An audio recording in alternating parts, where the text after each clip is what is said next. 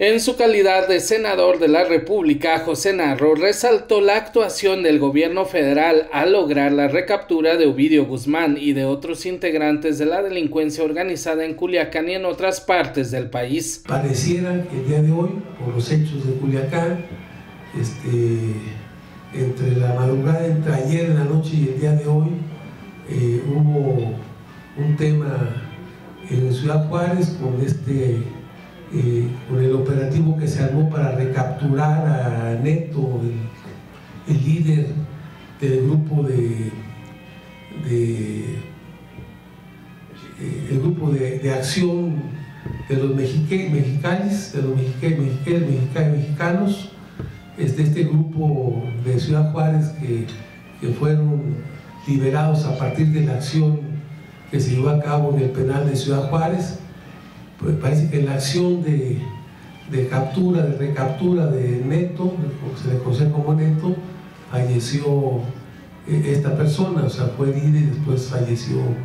Entonces, este, pues, lo que se percibe es que, y después con los hechos de Culiacán,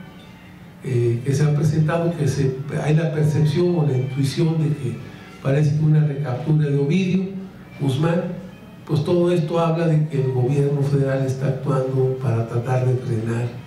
este, esta ola de inseguridad que padece el país. El senador de la República aseguró que continuará la acción de estar al pendiente del tema de la inseguridad en el Estado y en México. A pesar de que ya esta semana, el pasado día lunes, el presidente presentó un diagnóstico de cómo las cifras de inseguridad, cómo las cifras de homicidios dolosos han disminuido en el territorio nacional. Este, se dieron cifras muy concretas, eh, aunque en Zacatecas la percepción es de que esto se ha incrementado.